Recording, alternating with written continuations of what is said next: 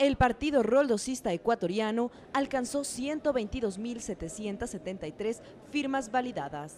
69.227 no válidas y 7.599 repetidas, de un total de 199.199 presentadas ante el Consejo Nacional Electoral. De acuerdo con estas cifras, el partido roldosista no alcanzó el 1.5% de las firmas necesarias para inscribir a la organización política con miras a participar en las próximas elecciones. Es un informe parcial por cuanto entregó otro paquete de firmas.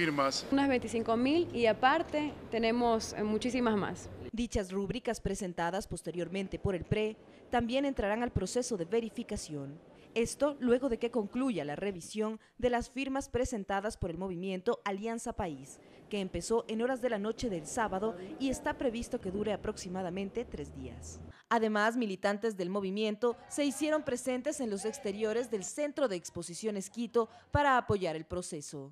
Y aquí afuera vamos a estar la militancia porque para nosotros también es importante hacer una demostración a la ciudadanía que esta verificación de firmas es parte del proceso de reforma del sistema político. Las diferentes agrupaciones políticas tienen hasta el próximo 24 de septiembre para completar las 157 mil rúbricas válidas necesarias para participar en las elecciones de 2013.